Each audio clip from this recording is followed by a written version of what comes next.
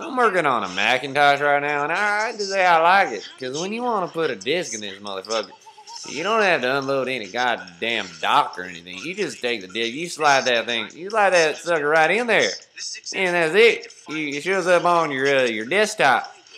You don't have to do any, any other shit. You just slide the disc right in the Discman.